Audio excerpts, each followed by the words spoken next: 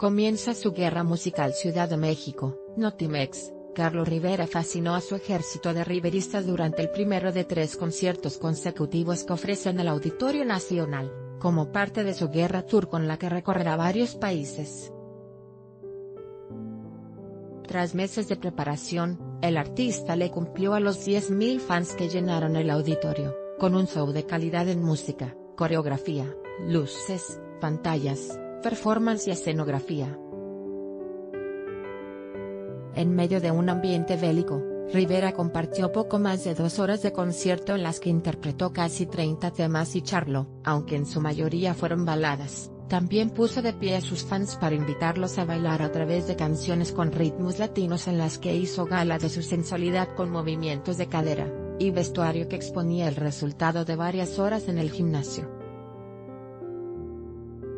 Tras una introducción musical que sobresalió con la presencia de una banda de guerra que descendía de la escalinata de la sala, el cogut de la séptima temporada de La Voz. México inició con Amo mi locura, una de las canciones con las que más se identifica.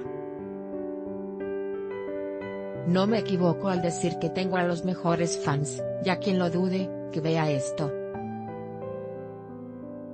Esta noche es muy especial porque volvemos al Auditorio Nacional después de casi un año. Es una nueva gira y un nuevo disco de canciones que realmente han salido del corazón para llegar al suyo, expresó a manera de bienvenida. Portando traje de gala similar al de la Guardia Inglesa, el cantante invitó al público a que forme parte de su guerra, la cual describe como una guerra de la vida, en la que todos luchan y caen pero se levantan. En las guerras realmente nunca se pierde, siempre se gana, se aprende y se toma mucho más valor. Esta noche vinimos todos los valientes. Tú eres quien te conduce por donde quieres y aunque fuera una locura, nunca dudé que algún día, a pesar de que no los conociera, nos íbamos a encontrar porque yo los esperaba, añadió. Acompañado de varios músicos, coristas y ocho bailarines. Optó por Te esperaba como segundo tema, mientras soltaba un pequeño globo y dos pelotas gigantes transparentes formaban parte de la apuesta teatral. Después vinieron Serás y Voy a amarte hasta que llegó el momento de invitar a una joven al escenario para simular que juntos irían de viaje por el mundo. Jacqueline fue la afortunada. Le colocó un sombrero de paja, gafas oscuras y bailaron a ritmo de Sígueme, Cielo Azul y Juego de Ajedrez. Acto seguido, desaparecieron del escenario con rumbo desconocido, luciendo un traje de color blanco y ante seguidores provenientes de Chile, Venezuela, Perú, Brasil y México que portaban varias pancartas con mensajes de cariño y admiración, Carlos entregó el tema Recuérdame que se desprende de la película de Disney, Coco.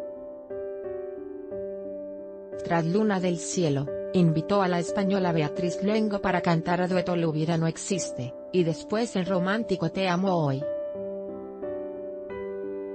Ya al momento, un paracaídas se elevaba detrás del artista para dar paso al siguiente bloque musical que sobre el templete mostraba un campo de batalla. Sería más fácil, Volveré y Grito de Guerra avanzaron en el programa para luego dar paso a un mensaje directo de Carlos, nadie tiene el derecho de decirle a otro que no puede, nunca lo permitas. Luego de Si te vas, en la que usó un paracaídas, expresó que no importa cuántas guerras se tengan que luchar, por ustedes siempre valdrá la pena. Gracias. Con otro cambio de vestuario, ahora de camiseta y pantalón tipo militar, el cantante ponía a la vista la musculatura de su cuerpo y bañado en sudor, hacía vibrar a sus riveristas con sendos giros, y movimientos de cadera dentro de un segmento latino con lo digo, bendita tu vida, como tú y deja amarte. Más allá del amor romántico, yo le canto al amor universal, ese que se le puede dedicar a quien sea que ustedes amen apuntó para luego invitar a todos a compartir su amor mientras enmarcaba el momento con el éxito otras vidas. Bajo la promesa de que algún día hará un concierto de esos que duren muchas horas, Carlos Rivera entró en la recta final de su show con que lo nuestro se quede nuestro, solo tú, fascinación y me muero. Disco de oro parecía el final hasta que ejecutivos de la disquera Sony Music interrumpieron para entregarle disco de oro por altas ventas de su nuevo álbum que apenas hace unos días se lanzó al mercado. Con auditorio iluminado por las luces de los teléfonos móviles del público, el artista comenzaba a despedirse a través de, ¿Cómo pagarte?